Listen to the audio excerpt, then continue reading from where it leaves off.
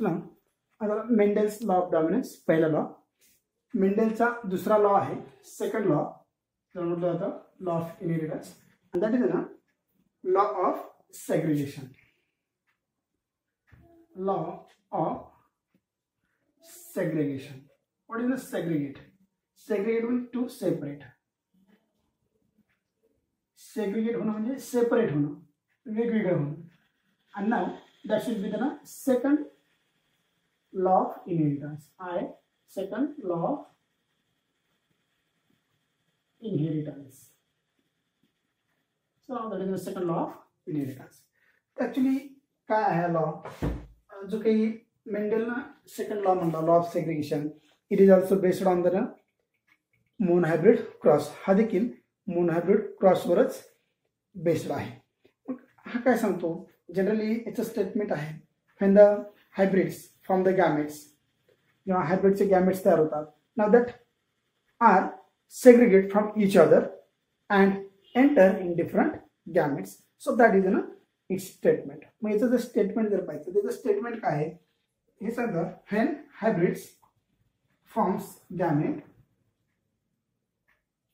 and hybrids forms gametes तेव्हा hybrid gametes तयार करतात नाव the allele segregate from each other the alleles segregate from each other they represent काय होतात completely segregate होतात segregate from each other each other and they'll be ratio a single gamete and the ratio or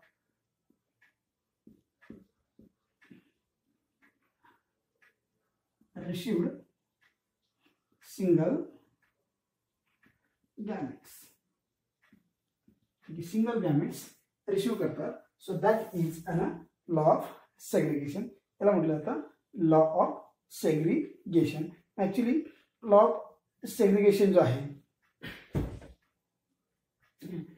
law of segregation हा जो second law आहे नाव याचं झालं एक स्टेटमेंट स्टेटमेंट सांगतं when a hybrid from hybrid forms gamete the alleles segregate from each other and they receive they received single gametes. So that is a statement. Here is आणखी एक statement सांगता येईल का आपल्याला दुसरं एक स्टेटमेंट बांधायचं दुसरं स्टेटमेंट स्टेटमेंटचा अर्थ सेम असतो. Now the members of allelic pair members of allelic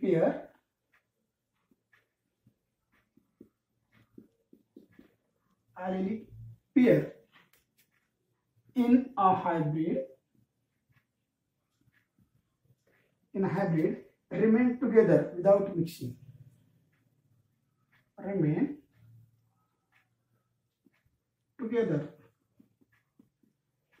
without mixing हे महत्वाचं आहे remain together without mixing mixing न होता जशाच तसे राहतात mixing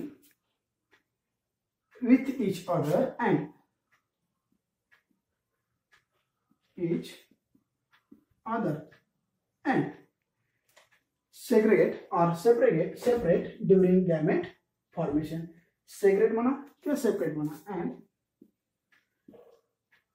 segregate during gamete formation formation So that is another statement. हे दोन स्टेटमेंट आहे त्याची सो ना चला याचं एक एक्झाम्पल पाहूया एक्झाम्पल काय आहे like same one tall plant cross with dwarf plant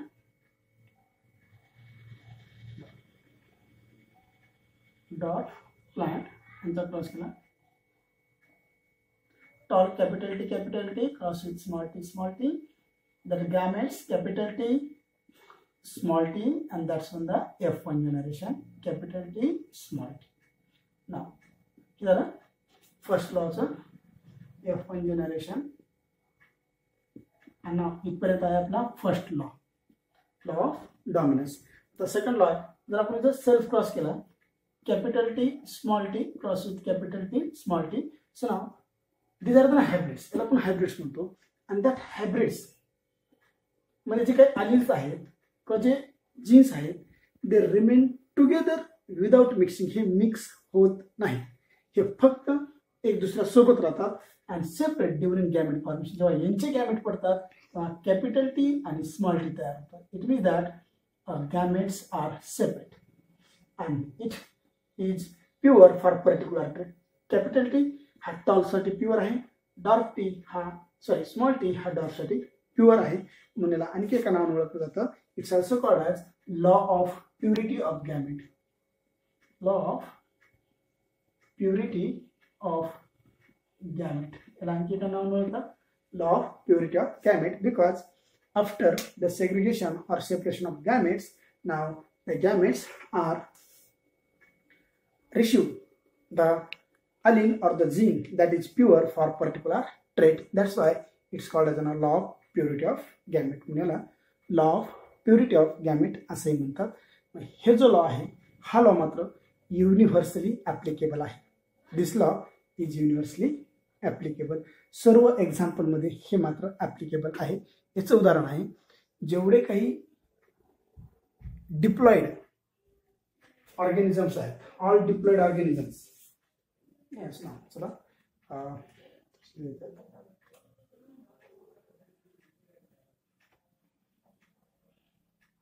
example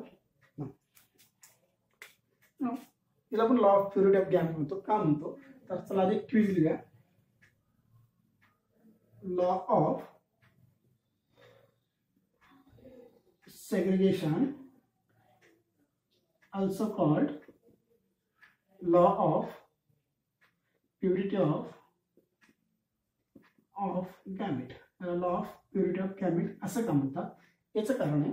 नाव तर लॉ ऑफ सेग्रिगेशन तो जे स्टेटमेंट है सर्वे पहले तो तुम्हें स्टेटमेंट संगता.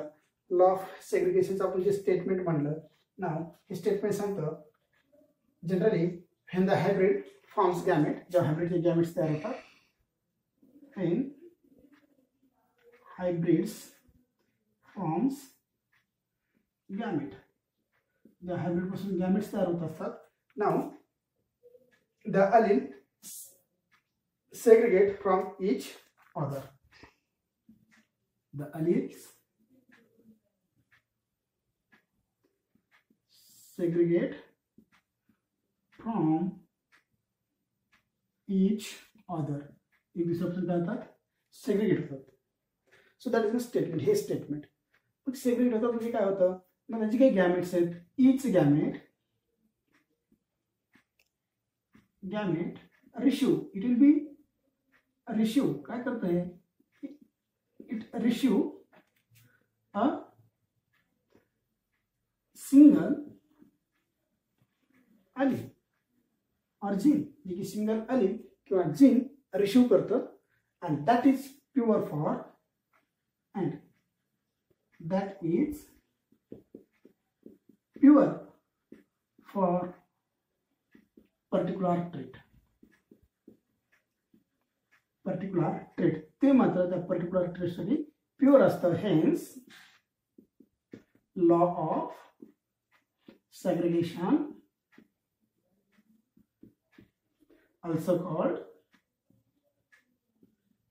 law of purity of gamete यालाच law of purity of gamete असंही म्हटलं जातं. आणि हा लॉ मात्र काय? युनिव्हर्सली ॲप्लिकेबल आहे. बिकॉज याचं कारण आहे ऑल सेक्शुअली रिप्रोड्युसिंग ऑर्गॅनिझम जे आहेत all sexually reproducing organisms are diploid hey diploid असतात.